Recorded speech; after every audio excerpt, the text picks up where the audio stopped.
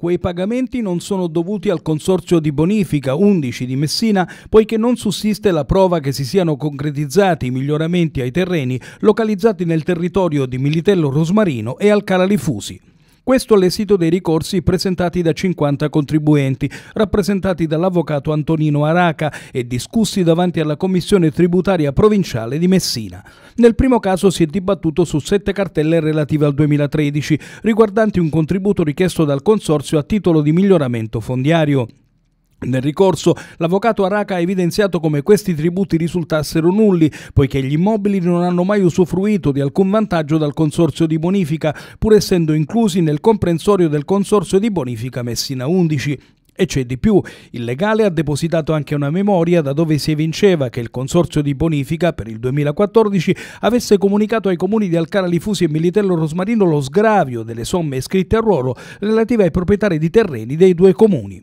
La Commissione tributaria provinciale di Messina ha accolto il ricorso perché il Consorzio non ha indicato quali miglioramenti fondiari siano stati apportati ai terreni dei due comuni montani, non dimenticando gli sgravi disposti per il 2014 e per il 2013.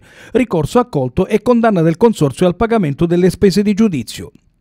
Lo stesso principio è alla base di altri 23 ricorsi riguardanti sempre immobili di Militello Rosmarino ed Alcala Lifusi per contributi richiesti per il 2013. Infatti anche in questo caso i ricorsi sono stati accolti perché non sono stati indicati i terreni a cui fa riferimento il tributo preteso dal consorzio, non dimenticando che i ricorrenti, rappresentati sempre dall'avvocato Antonino Araca, hanno eccepito che il consorzio non ha avviato alcuna opera che abbia determinato vantaggi per i loro terreni.